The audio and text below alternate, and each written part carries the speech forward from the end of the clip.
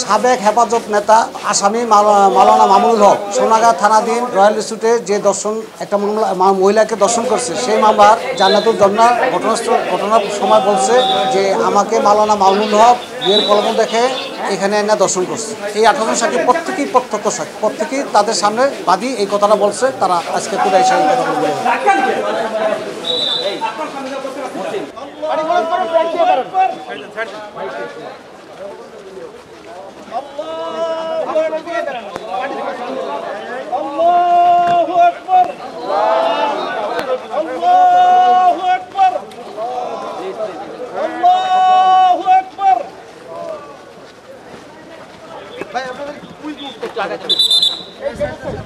पीछा पीछा पीछा। एक तुम्हें আল্লাহু আকবার আল্লাহু আকবার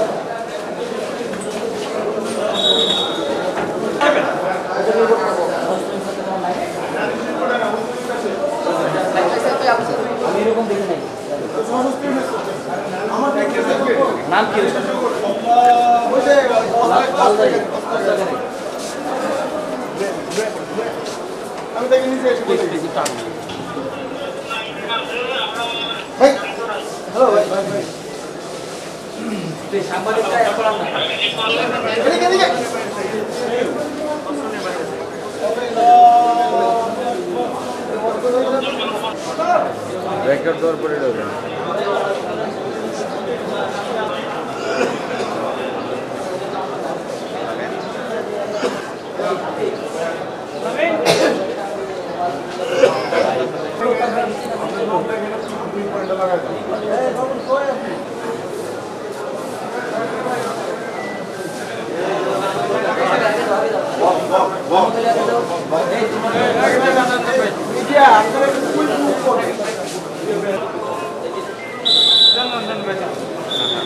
আমরা এই পাশে এই পাশে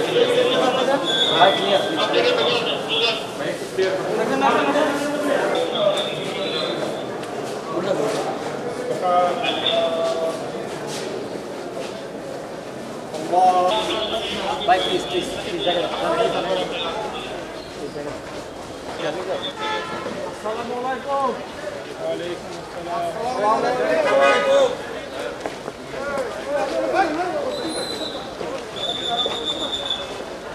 মিথ্যা জরুর যত বেশি হোক সত্য চিরন্তন